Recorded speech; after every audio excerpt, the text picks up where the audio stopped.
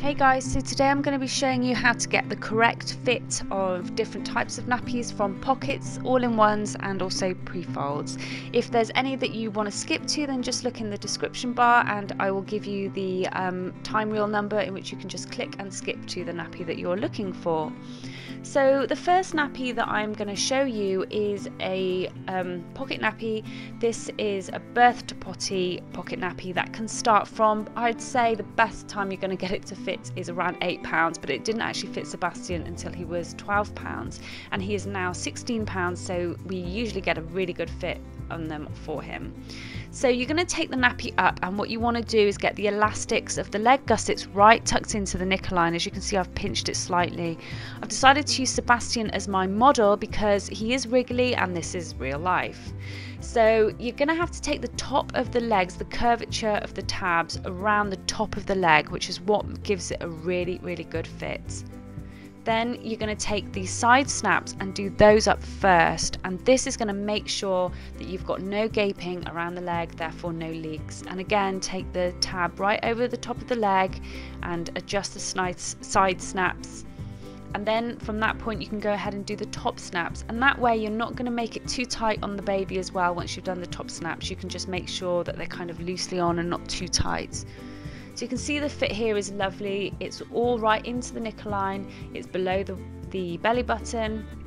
There's no gaping around the leg and it comes up probably around halfway up his back as well. So if it was kind of a, a lot of disposables, the way you fit them is you kind of make them go right up to the top of the back. With this, you do not have to do that.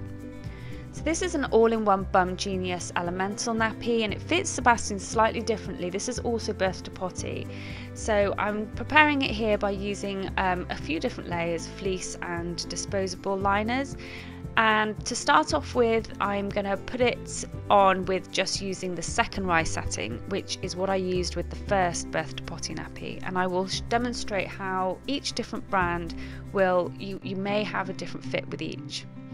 So here it's on the second rise setting and there is a lot of gaping around the leg. Though their elastics are tucked into the licker line there is a lot of gaping. So I've adjusted it here to the first rise setting which is the newborn setting but it fits Sebastian very very well. There's no gaping around the leg. It comes up nice and high well not, not not too high but high enough around his back and just underneath his belly button so now I'm going to demonstrate a pre-fold nappy. This is a size 2 pre-fold and for Sebastian, because he's a heavy wetter, I always put down a bamboo booster and I will also use a fleece liner to keep it slightly stay dry and also catch any kind of poo as well and stop staining.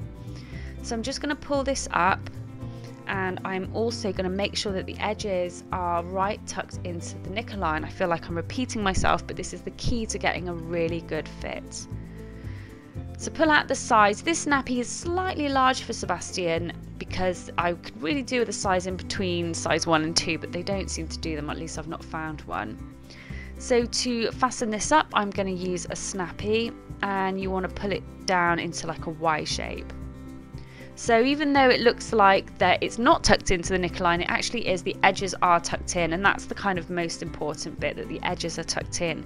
Because now I'm going to go in with a wrap and this is the Bum Genius Flip wrap which is the same shape as the last nappy that I showed you. And I'm going to pull this up as well and I'm going to make sure that the elastics are in the line and that the tabs are done and that the side snaps are done as well and you can see that this is a really lovely fit on Sebastian. And again, the big difference here is that you do not need to pull the nappy right up the back like you do with the disposables. The fit is very different. Just make sure you get into those knicker lines and your fit will be beautiful. So I hope you enjoyed this video. If there's any more questions, please just ask. And I guess I will see you guys soon.